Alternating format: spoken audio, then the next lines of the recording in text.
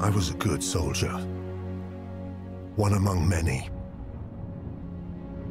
Firing cruel weapons at strangers in different colored uniforms. In countries that didn't belong to any of us.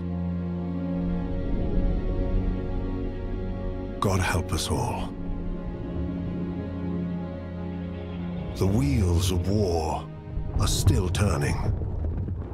Throttle set, engines roaring, armed, fueled, in motion.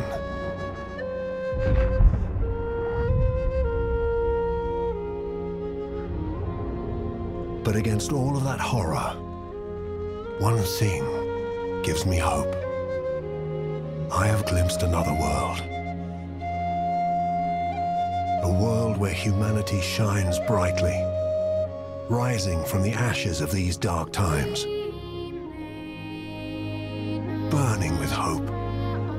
It illuminates a path through this wreckage. A path to somewhere better.